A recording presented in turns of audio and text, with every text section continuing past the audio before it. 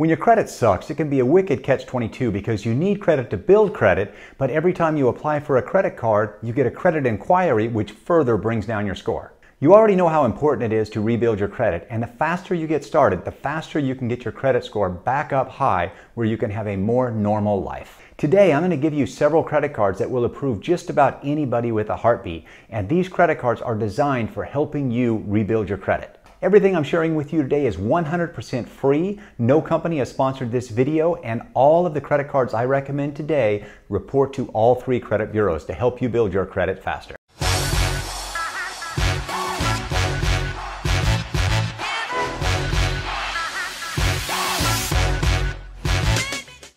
Before we get into the credit cards that approve almost anyone, I really encourage you to watch my other videos on how to repair and build your credit because there's so much more to cover. I'll leave those links down below. And even though I'm giving you five credit cards today that can help you build your credit, I really encourage you to watch my other videos because the goal is to get your credit over that magical 750 so you can qualify for the best interest rates possible. Let's answer a few questions about dealing with bad credit. The first question I commonly get is, can you get a credit card with bad credit? The answer is yes. Just understand that these are no frills cards and these aren't the fancy ones you see advertised with points and perks and all kinds of rewards. It's a no frills card designed to help you get better credit and it's a transitioning point from where you are to better credit and better options. Why are secured credit cards the best for rebuilding your credit? Well, number one, they're easy to get.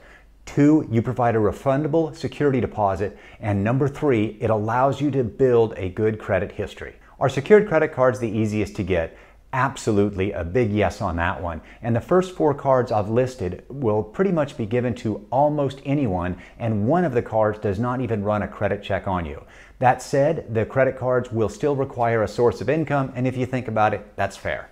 Let's go over the top five credit cards if you have bad credit. The first one is the Discover It Secured Credit Card. It has no annual fee. You put up a $200 refundable deposit. You can apply with a credit score of 300 to 629, and it is by far the best overall option for you as you start to rebuild your credit. The Discover It Secured Credit Card reports to three major credit bureaus. It offers rewards and a sign up bonus. It's a path to unsecured credit and it gives you a chance to upgrade to the unsecured uh, credit after eight months.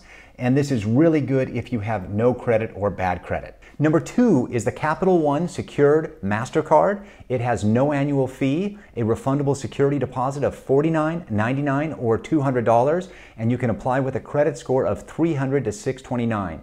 This is the best overall card for you if you want to have a low deposit on your secured credit card. The Capital One Secured MasterCard is the perfect card if you were looking to build your credit. It's not fancy, there's no annual fees, and it gets the job done. Plus, you can increase your credit line after your first five payments are on time. Number three is the OpenSky Visa card, and it has a $35 annual fee, a $200 refundable deposit, and you can apply with a credit score of 300 to 629. And with OpenSky, this is one of the few cards where there is no credit check and there is no bank account needed. If you've been turned down by other secured credit cards, this is your best option because OpenSky believes in giving people a chance. Number four is the DCU Visa Secured Card, and this has no annual fee, a $500 refundable security deposit, and you can apply with a credit score of 300 to 850. This card comes with a few benefits that the other cards do not. For instance, it has a low 13.75% annual percentage rate. It has insurance, travel, car rental, and warranty benefits. And you must be a member of the Digital Federal Credit Union, but that's pretty easy to accomplish.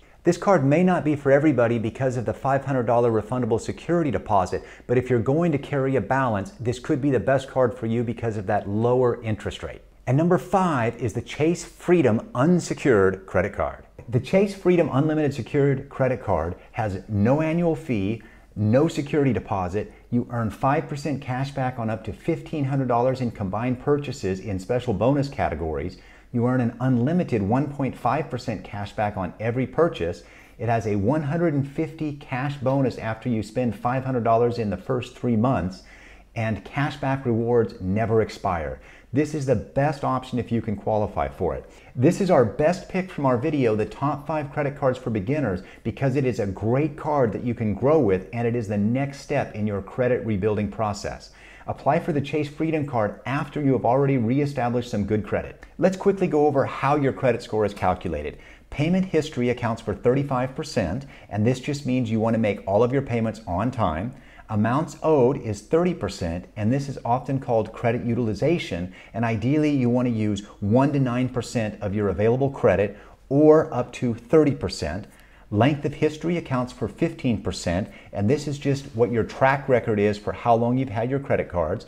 New credit accounts for 10%, and credit mix also accounts for 10%. If you want to understand how to get a great credit score, then be sure to watch my video, How to Fix Your Bad Credit Score Yourself, where I go through everything that goes into your credit score and what you can do to improve it. What should you do next? Get one to two of the credit cards that I listed and then start paying them off every month. Number two, you want to watch my video on how to repair bad credit yourself. That'll put you on your way. And number three, you want to smash that like button. Hopefully this video has been a big help to you to point you in the right direction for some credit cards that you can get started for rebuilding your credit. I've kept this short and sweet because I know you're just after the information. So just do me a favor, smash that like button and I will see you on the next video.